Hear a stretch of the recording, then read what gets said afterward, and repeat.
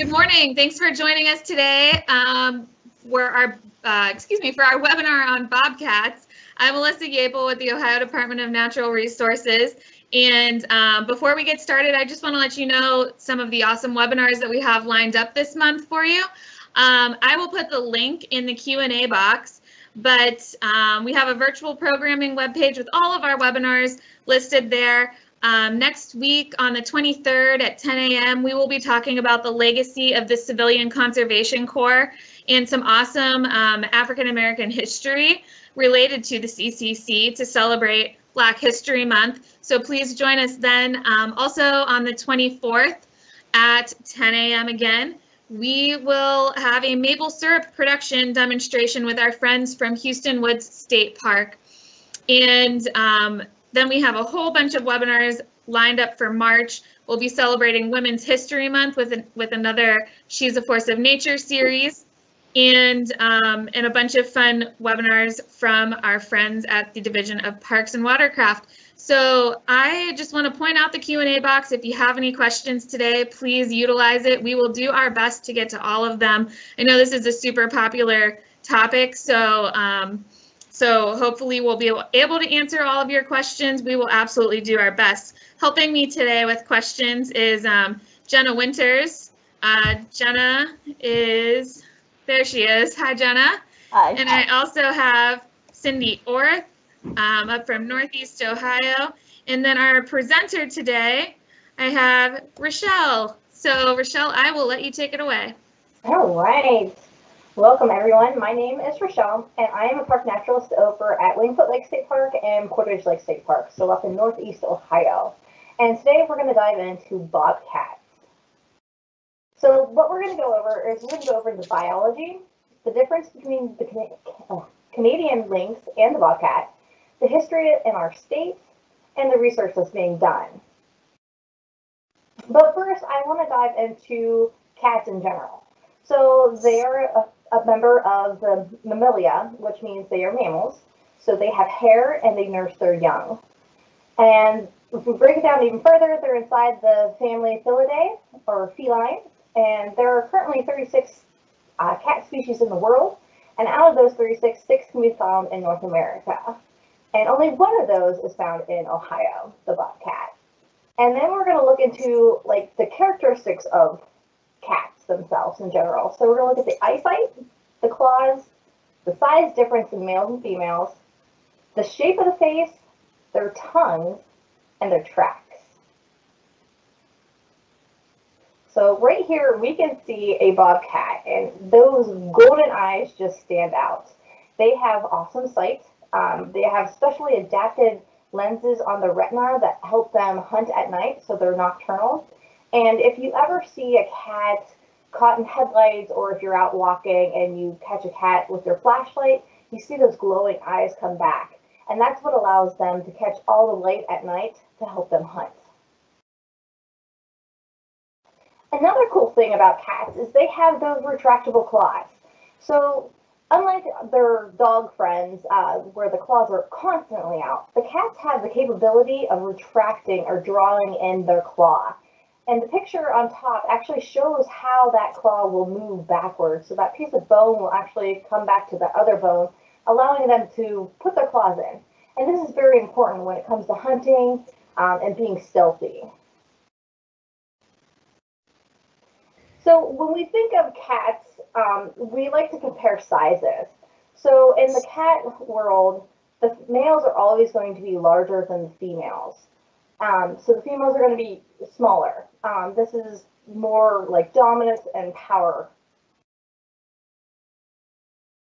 Now let's look at that face. Um, so if, if you ever looked at a cat compared to a dog, you'll notice that their, their shape of the face is more round, whereas a, a dog is more slender.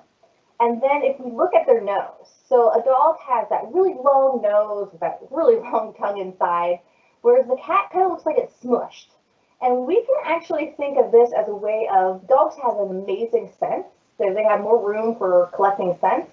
Whereas the cat, they don't have like a really great sense of smell. I mean, they can still smell things, but it's not as strong as the canines. So that's why we use canines in the world of like searching for drugs and bombs and things like that. Oh, my favorite part is this tongue. I don't know if anybody has ever had a cat lick them. It feels like sandpaper. It's like really rough. Um, it kind of doesn't feel great, and I always wondered why. Why is it that way? And these tongues are specially adapted. So in that picture of the cat right there, you can see the the close up of that tongue, and it looks like it has little teeth on it. And now these aren't necessarily teeth. These are a special type of um, keratin, which is the same thing as our fingernails. And they're actually little hollow cone shaped uh, features on their tongue. And this allows them to hold extra moisture in their tongue. So when they're cleaning themselves, they groom themselves all the time. Cats are very clean animals. Um, those papillae will actually allow them to put more substance on their fur. And we're actually, scientists look at animals for a lot of influencing on lots of things. So we looked at the dragonfly for the influence of helicopters. We've looked at seed dispersal mechanisms with uh, hitchhiker seeds with little bristles and how they attach to create uh, Velcro. Um, we've actually looked into the tongues of cats to see if we can mimic something from them. And we have special hairbrushes out there nowadays. I know my daughter has one.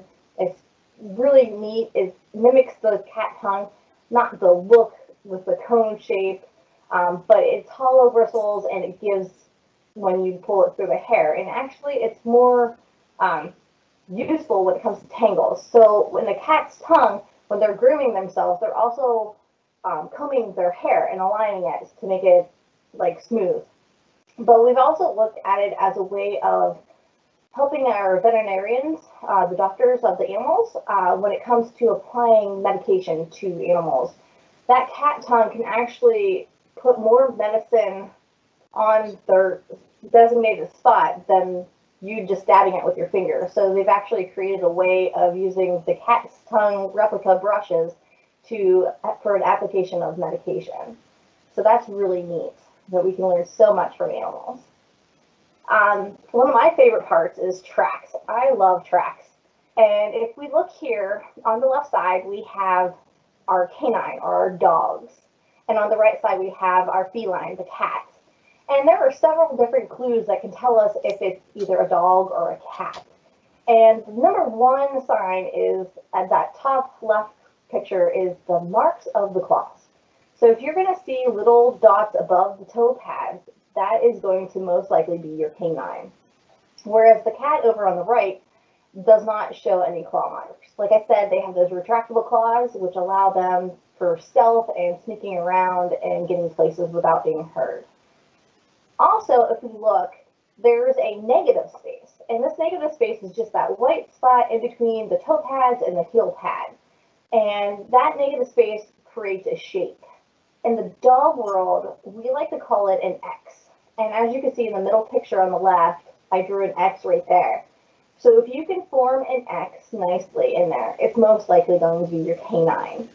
Whereas the cat on the other side, uh, remember C is for cat, you can actually do a C shaped in that negative space.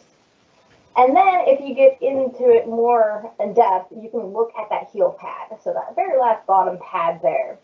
And in a dog, the the the heel pad, the top pad only has one lobe, like one little mountain, and two at the bottom. So it's going to form a nice little V right there. Whereas our feline is going to have two lobes on top and three on the bottom. So it looks like an M. So those are neat little things to look at when you're out there walking, especially right now with the snow. Um, now, mind you, there are other critters out there walking about, but if you come across one and you might think that it's a bobcat. Just remember, if it can, you can form a C around that heel lobe, it most likely is going to be a bobcat. So now that we know a little bit about the feline world, now we're going to dive deeper into our bobcats, the Lynx rufus. So we're going to look at their size, the lifespan, the reproduction, their appearance, the range and habitat that they like to inhabit, and their diet. So a lot of people think that they see bobcats. Um, most of the time, it's going to be a house cat. Bobcats are pretty pretty big animals. Uh, they can weigh between 11 and 30 pounds, and their length from face to tail is around 26 to 41 inches long. And if you were to measure it from the shoulder down, it's going to be 12 to 24 inches. So that's twice the size of an average cat. Although I have seen some really big cats out there. Um, another telltale sign is the tail. So make sure you look at that tail to see if it does in fact have a, a long tail or a short bob tail. Now bobcats, they can get quite old. Um, so they can, in the wild, they can get up to 12 years of age, um, 10 to 12 on average. But like anything, if we have them in captivity, they're going to live longer. They have less threats. They get meals brought to them every single day. So they don't have a taxing life. So they're going to live a lot longer in captivity. So around 20 to 25 years. Right, my favorite, those little kittens. Um, so reproduction. So normally mating season is going to occur between December and May. She's going to find lots of boyfriends and partners out there. So they're not monogamous, neither females nor males. They will partner up with just about as many cats that come into their territories. Now, that being said, the female is going to be the only one that's going to raise these kittens once they're born. And typically, after they have mated, within 60 days, she's going to have that little litter of kittens. And it's usually between one to six, but on average, it's around three. So she usually will find like a nice little den site, um, either rock outcroppings, down logs. Um, if you have a forest that was timbered and there's brushed up piles of brush, she'll go underneath them. She doesn't use the same den every single time. So if she feels threatened, she's going to move them. Um, even if you were to go out and find one right now, if you put too much presence on her, she's going to move those kittens. She doesn't want anything to happen to them.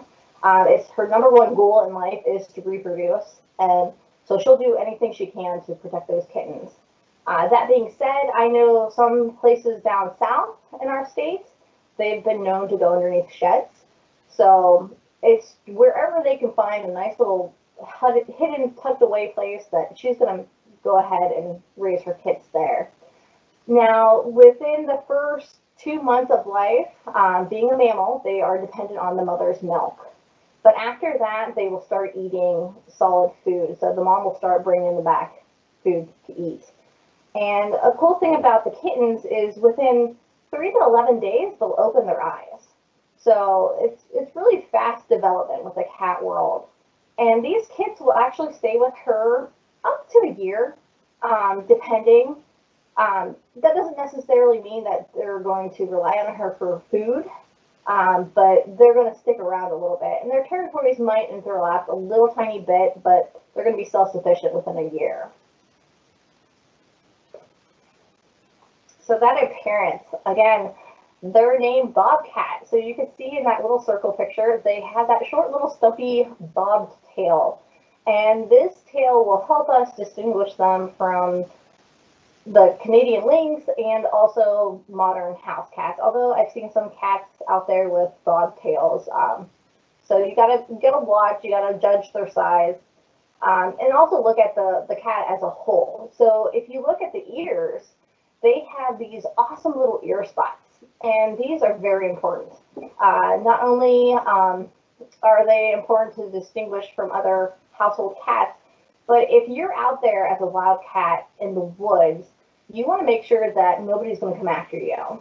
Uh, they don't have a lot of predation on them, so they don't have to worry a lot, but it's always good to make sure that your component knows that you might be looking at them. So if you come across a bobcat from behind, it looks like you're looking at them face on. So it's like they see you, even though they don't. Or as I like to call it, they have mom eyes. They have eyes in the back of their head. Um, they also have those cool little ear tufts at the uh, top of their ears, and that's just little extended hair tufts. Um, they kind of help aid in some uh, sound detection. Uh, they also have these amazing whiskers all over their face. I don't know if anybody's got to see a house cat up close. They have lots of whiskers everywhere. And whiskers are very important to a cat. They help them sense at night. So when they're walking through the brush, they can actually feel things with those whiskers, just like a, a catfish too. They have those awesome whiskers that help them find things uh, on the bottom of the water floor. And then bobcats also have beards or cheek ruffs. And these cheek ruffs, um, they're important when we look at the Canadian lynx compared to the bobcat to differentiate the two. They have wide padded paws. Um, again, stealth is very important for a cat. They are pouncers and they are stealthy, so they like to pounce on their victim. So they need to be quiet when they're stalking them. And then they have long legs, and these long legs help out not only with running, which they can do fast little bursts of speeds. They're not like a cheetah where they run super, super fast um, for long periods. It's just little microbursts is what they do, but these long legs help them climb. So they're excellent climbers, and climbing helps um, get away from predations, um, help hide from humans if we're in the woods and they're scared, um, and also to just kind of like find a spot to sleep in a tree. So the range, like I said earlier, uh, bobcats are found in North America. Their evolution journey, um, so they came originally from like the Africa and area, and their ancestors traveled up north, and they became the Eurasian lynx. And later, about 2.5 million years ago, they actually traveled even north, more farther nor- north, and that's how we got the bobcats today. And when they traveled further north, they broke off into two little branches. So we have the Canadian lynx, and then we have the bobcat. Uh, so that's really neat to see how they journeyed up our way. Uh, their home range is usually 16 square miles um, for males and 6 square miles for females. So the females have a smaller territory, but the male is going to have a larger one. And he's going to have several females in his area. So just to make sure that he has the most chance of spreading his genes throughout the area. So their habitat. So our bobcats love young forest. So here's a picture of Jefferson Lake State Park where um, Cindy and I have actually worked a, quite a bit on the trails down there. And we've seen multiple signs of bobcats from tracks to even hearing one. We got to witness a mother cat doing her little call to her kits. So it's really nice down there to uh, get to see and hear them. Um, up here in Northeast Ohio, we don't have as much as our southern counterparts. So when we see bobcats, we get so excited and tickled pink when we see them. Um, they can also be found in wetlands. Um, and wetlands are a very unique um, habitat system. Their diversity is super large. So we're looking at animals from like the muskrat, the beaver, waterfowl, to um, mice, um, the outsourced, like the outer area where it starts to dry up some more, um, that's where they're usually found, the bobcats. Um, that's where the populations of rabbits, squirrels, raccoons, and possums, all that other creatures are starting to blossom. So they love those type of areas, thick areas where they can hide. They have that awesome camouflage pattern, which we'll talk about. Um, so getting into their diet um, bobcats are carnivores and they're opportunistic. So if they can catch it, they're going to eat it. Um, so in Ohio, with the studies that we have done, we've noticed that the number one animal that we find in their stomachs when we discover roadkill and ex examine it is rabbit. There's lots of rabbit parts inside of them. But they'll also eat mice, squirrels, birds, even the deer, insects. If you're hungry, you're hungry reptiles, amphibians, and fish. Now, with this being said, they're not going to annihilate a population. Um, bobcats are very unique as they are a keystone species, so they help regulate species. Uh, with that being said, they know when to not overexert their their prey. So if they notice the numbers are going down, they're going to move elsewhere. They're going to find more food. Um, so we have a lot of concerns like, oh no, they're going to kill all the deer population. The deer population is actually very healthy in Ohio. We have wonderful reports that come in from our archers that are actually saying that they have seen more deer, um, which is really good. Um, so we got to remember that these cats are just going to help us out with population control and keeping every species in check. If you have too many rabbits and squirrels running around, um, the ecosystem is going to change quite a bit. Uh, the same thing with deer. If we have a lot of deer running around, they're going to overgraze on plant species, so our diversity in plants are going to go down, and it's just overall it's bad for that species of animal. There, there's less food, there's more competition, and that's when disease and famine start spreading around. So with keystone species, they help regulate and keep everybody intact. So, and with that being said, bobcats originally were in Ohio, so they were supposed to be here. So now let's compare the two cousins, the Canadian lynx and the bobcat. So the bobcat is on the left and the Canadian lynx is on the right. And if you look just right off the bat, you can see some major differences when it looks and comes to comparison in their looks. That bobcat has more of a broken up coat. So it has white and black spots and gray and tan and red appearance to it. Where if you look at that Canadian lynx, I like to compare it to kind of like a deer. It's a solid color throughout. It has just a nice solid look with it, not different spots or anything like that.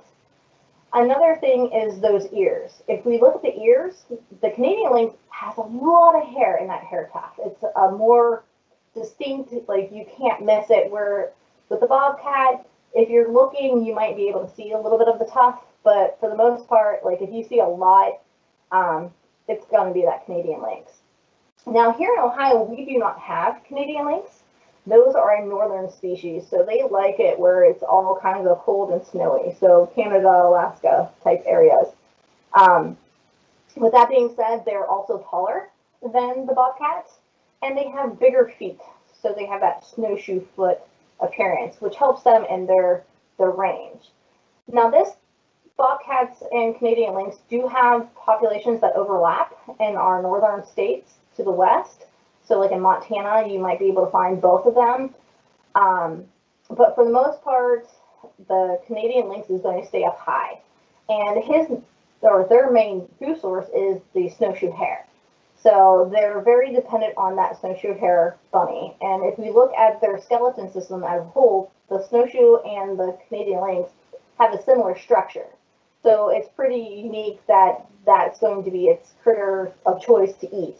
Whereas the bobcat is known to eat snowshoe hares, but for the most part, they're going after squirrels and chipmunks and rabbits and other things like that. Um, now, if we look at their tails, um, this is another clue that I was talking about is that tail that helps get them away. A bobcat is going to have that little white spot at the end. So it's going to have the brown, then the black little tip, but on the very end of it, it's going to have white. Whereas the lynx, the Canadian lynx, it's all a solid black.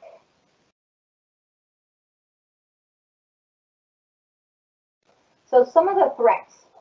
So a number one threat to our bobcats are going to be owls, eagles, hawks, coyotes, vehicles, parasites, and diseases. So when a bobcat is smaller, um, they're preyed upon by our eagles and our hawks and our owls. And coyotes will prey on larger bobcats, but for the most part, they're not going to go after them too, too much. Like I said earlier, bobcats don't really have to worry about a lot of mammals. Um, it's mostly vehicles that are their uh, main worry within the states. Um, the state of Ohio is actually um, number 10 in rank of like the most populated, uh, high trafficked state in Ohio or traffic system in the United States. So we have lots of roadways that break up habitats. So when they're moving about, they're most likely going to encounter a vehicle. So we have some folklore about bobcats. Um, they have been found in uh, Native American caves dating back to the late BC times. Um, and many tribes had different views on bobcats. Some found them to be a magical, mystical creature that if you were able to see one, that you would have good luck. Where others viewed them as horrible, bad creatures, uh, a sign that you were going to have bad luck. Um, they sometimes called people bobcats because they were sneaky and their ways. So it, it just depended on where you were from. Um, like I said, uh, bobcats are important. They're a keystone species. They help keep things in check. Um, so they they help the possums, the raccoons, groundhogs, and other small animals stay in a healthy number so that way their uh, species survives.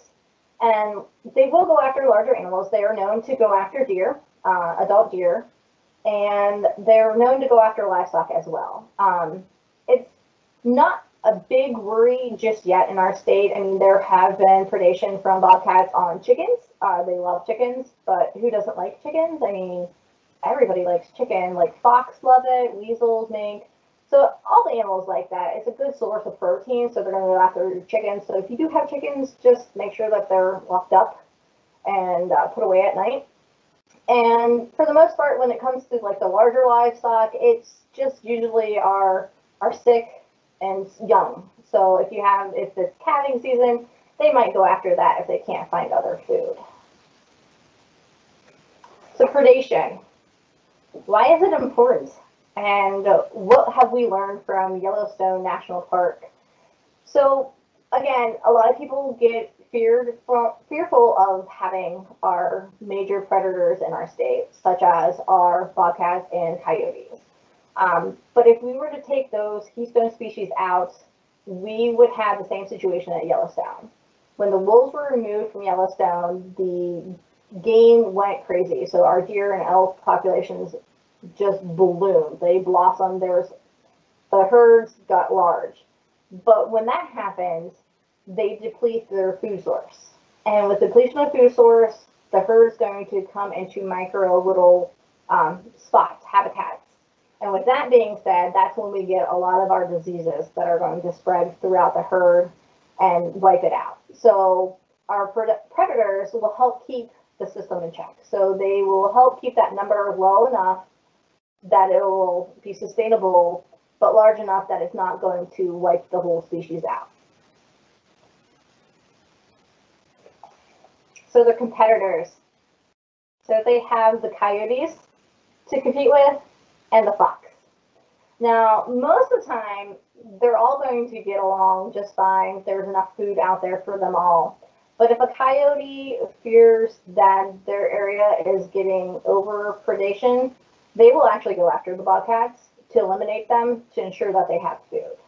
Whereas the fox, on the other hand, the, that shy little critter right there, he he wants nothing to do with the bobcat. So for the most part, you're not going to find fox with the bobcat. They might overlap a little tiny bit, but he's going to stay away from that bobcat because that bobcat's big enough to take him down. So if we look at the bobcats in our state, we we want to see what happened to them. Uh, why did their population become null in our state? And there's two reasons behind this. One is loss of habitat, and the second is being overhunted or trapped. So back in the earlier days, we didn't have our wonderful wildlife regulations that we have nowadays. So it was a free for all. So people went out and if they wanted to kill the animal, they killed the animal. Um, we've had several species in our state wiped out completely from the turkey, the beaver, um, the bobcat, and wolves and uh, mountain lions. But also, when we came to Ohio, we decided that this is a great land um, and we wanted to take full use of it. So we timbered it and now we farm. So with that removal of the habitat, we wiped out the brushy area for them to hide and be able to survive, and we pushed them out of our state. So in the mid 1850s is when we completely pushed them out. They, um, we didn't have that many sightings of bobcats. we extirpated them in the 18, mid 1800s. Um, they were one of the first species listed as an endangered species in the state of Ohio in 1974. And between 1970 and 2000, the sightings increased. We didn't have a lot like we used to. We might have like five a year. Um, and unlike the turkey, bobcats weren't reintroduced. so We didn't bring them back. Um, so our population that we have now have actually migrated from other states into our state. And with the studies that we've completed with wildlife, that wildlife has done with universities, is that they have actually determined that there are two different gene pools. Um, so we have the southern gene pool and then the southeastern gene pool. And if we look at them, uh, we can see that the southeastern population is self-sufficient. Self-sufficient. And what that means is they're reproducing, oh my goodness, reproducing at a rate that we don't have to have other bobcats from other states coming into our area. Their, their populations is growing rapidly, whereas the southern state, or the southern part of our state, that population, they are reproducing, but a lot of them are coming from other states. So they're migrating into our states. And like I said, the Division of Wildlife is doing a research, um, continuous research right now on the um, the bobcats. So just because you're seeing a lot of bobcats doesn't mean that we don't want to know about it. And I know Alyssa's going to add a, a site that you can um, report your sightings. Um, like I said, we love getting all the information that we can to track this.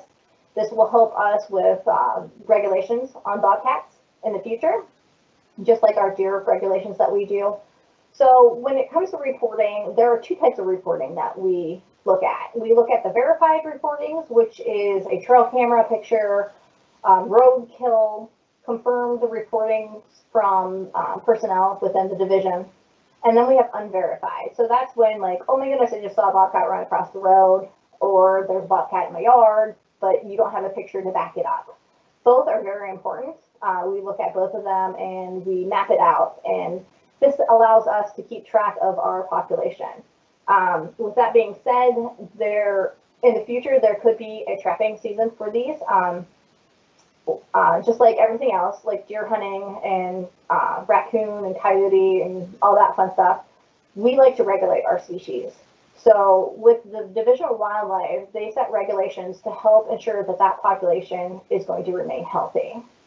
So if you have any questions, reach out to your district, uh, wildlife district office, and I'm sure they can help you out with that.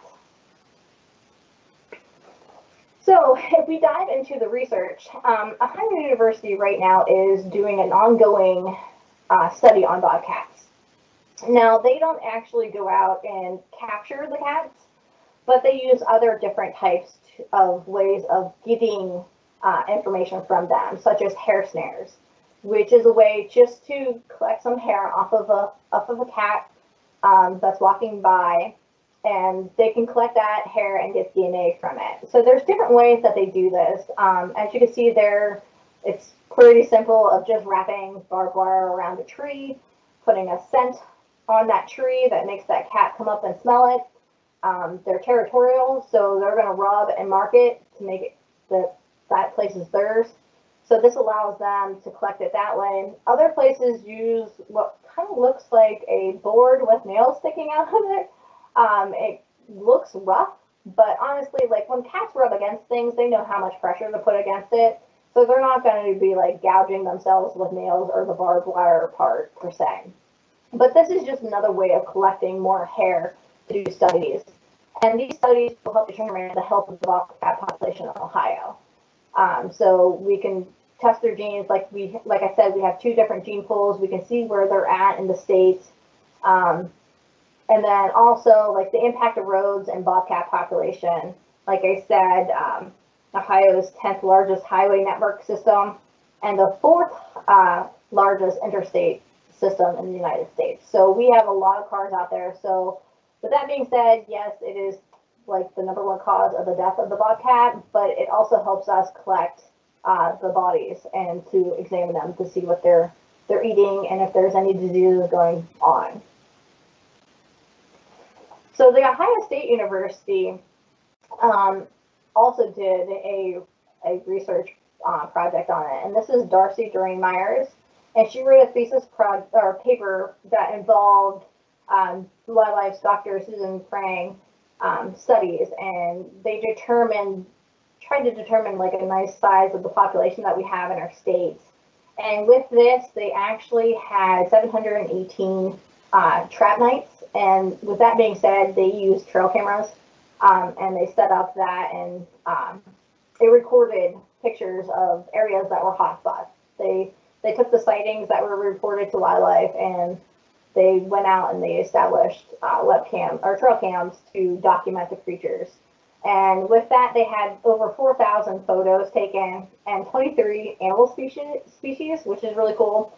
And out of that, 91 of them were bobcats. So that was a really good um, uh, data source to build a fund- foundation for our bobcat population in the state. Right. Got any questions there, Melissa? Richelle, we have a ton of questions. Oh boy.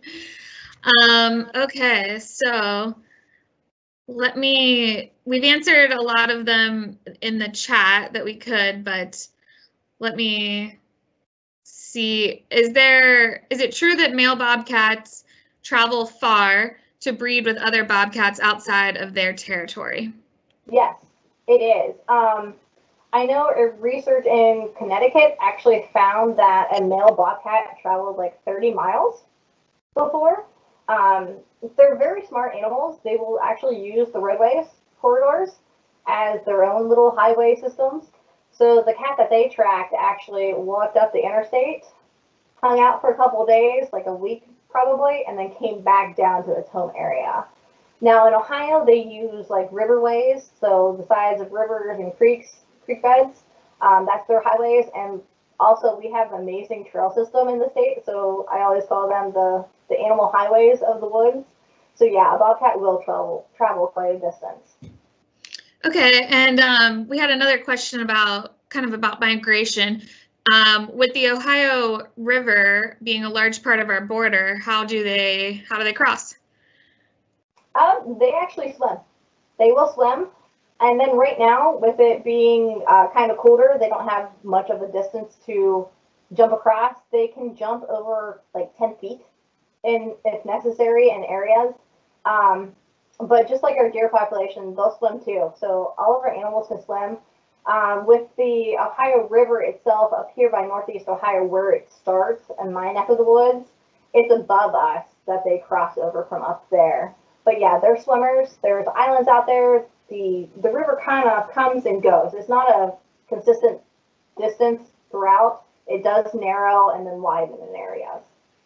Okay, and besides the um, besides the wildlife reporting form that I shared the link in the chat there, are there specific or preferred tags that um, ODNR uses for iNaturalist? And I know that you use iNaturalist, Richelle. Um, I'm not sure if you know the answer to this or not. Yeah. Um, so the wonderful thing about iNaturalist is that scientists have the ability to go in and we can pull data. So I know for a fact that we have a dragonfly database that if you report a dragonfly, it's going to be pulled by whoever is in that area or your area. So I would imagine if you report a bobcat sighting in that area, wildlife or actually the universities will have the ability to pull just the, the search bobcat and it will pull from the whole state and then they can pinpoint where it's at. And we've had a lot of questions about the population of bobcats in Ohio. Do you know how many there are? Um, and then somebody also asked why are numbers in Ohio low if they don't have a lot of predators? Okay, so back in 2018, we had confirmed sightings of 391. And then in 2019, 461 confirmed sightings. So the population is going up. Um, even though predation is not an issue right now, they're still establishing um, the range. So not all cats are just to, like, they don't flock in a herd per se, but they're just going to slowly trickle in. So the population is increasing. increasing. Like I said, so, southeastern Ohio, they're booming. Um, if you go down there, the, the sightings are phenomenal. Like I know at Salt Fork, it's it's easy to see one. So yeah. Okay. Um, and we had Avery, age six, ask if bobcats like water. They do.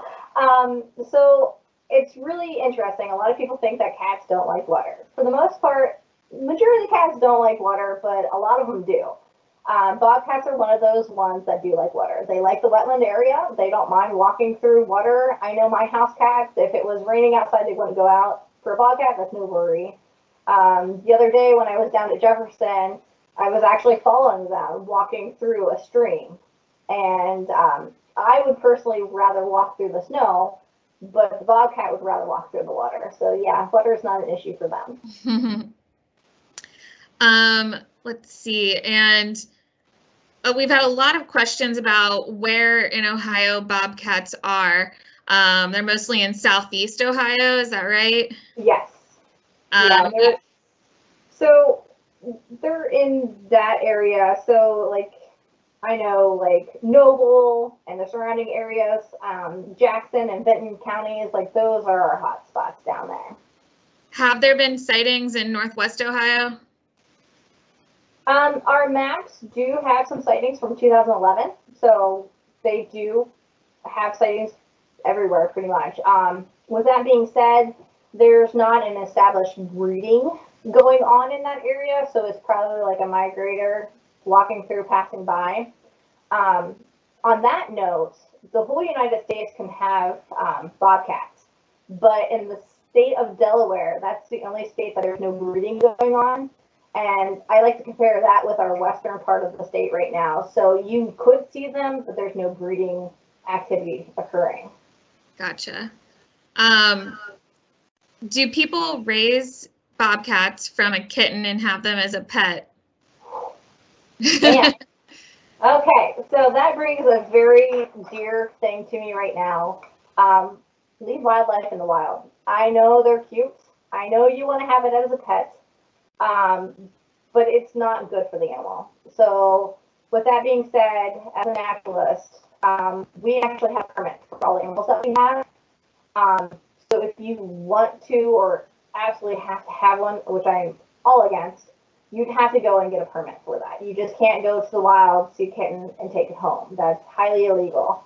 Um, again, for the health of the animal, when you have it in captivity, there are so many things that can go wrong. Uh, I know for a fact with reptiles, not everybody does the UV, but um, UV light to give them that nutrition from the UV bulb. Um, the heat source is wrong. So with the bobcats, you're not going to get the, the nutrition that they need.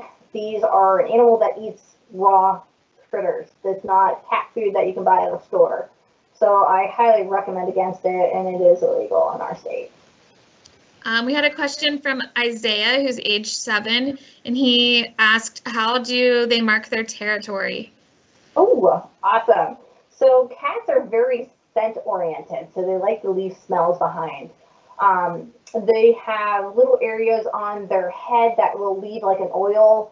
Uh, the males will actually mark from their behinds where they spray pee on trees. Um, they actually leave scat piles as well, so they'll go and they'll poop somewhere, and that's a sign that hey, this is my area, don't come in. And they'll actually make rounds every day just to ensure that their their territory is well marked. Because sometimes that visitor will come in and he'll sneak in there and he'll pee, but they want to make sure that the hey, this is mine, so they'll go back through and they'll pee over top of it. Okay. And are they likely to attack humans? Okay, so bobcats are very shy. All right, so for the most part, you're not going to see them unless they want you to see them. And when it comes to attacking people, it's most likely not going to happen unless you're promoting that. So if you're doing a rabbit in distress call constantly inside your blind or wherever you're hiding, if you're hunting, they might come up to you, and because you're all in camouflage and you do a slight movement, they might take you as their prey and pounce on you then, but they're not just going to come out and attack a human. Okay. Um, we've had a lot of questions about a map of sightings for the state on our Division of Wildlife um, website, there is a map from, but it's from 2017. That's the latest map I'm aware of. Um, Yeah. I'm going to put that in the Q and A. I'm going to publish that link there for anybody that wants to check it out because we are getting a lot of questions about that. Um, Liv asks, how do you tell besides size if it's male or female? Ooh. Size is the main one, um, unless you can get close to them. Um, so if you find a roadkill, obviously you can check for uh, the genital parts. Um, but just walking around, it's it's very hard in our animal world unless you have two to compare. And with that, like bobcats are solitary animals, so they're normally not going to be around each other unless it's breeding season or if she has kits. So it's not really an easy way of determining the size and the sex. Okay, and Gabe, age eight, asks, what is the biggest thing recorded that bobcats have eaten? Mm. So I would have to say it's going to be like a white-tailed deer would be my guess, which is pretty awesome because, like I said, they're twice the size of a, an average house cat, and to take down a deer, that's pretty impressive. That is impressive. Um, I think that we answered most questions either um, through talking here or in the chat. Oh, oh, I see Jeff and Liam, age five. Um, why do bobcats climb trees? Well, it's just like us. They like to do it for fun. Um, but also, it's a nice place to get away. So if there's a coyote in the area and they feel threatened, or if we're walking along and they feel threatened, they're going to climb up that tree and they're going to literally stay up there and watch us walk by. So it's a, a safety and it's fun too. Okay, Jenna or Cindy, chime in if I'm missing any questions, but I think that we either answered them in text or um, or over, you know, through talking here. Um, so I think that is going to wrap things up today. Um, thank you all for your questions. We had a ton. You kept us busy. and thank you, Richelle, for your presentation today. Um, once again, if if anybody has um, uh, wants to look at our other webinars, please go to our website. Um, I did put it in the Q&A, um, but you can find our virtual programming page on our website um, for all of the upcoming webinars that we have. And if you missed anything and you want to watch it back, we are recording this. We record all of our webinars that we do. So we have a great collection on our YouTube page. So if you just go to YouTube and search Ohio DNR, you will find all of the wonderful videos um, from all of our divisions there. But thank you um, for joining us, and I hope you have a great day.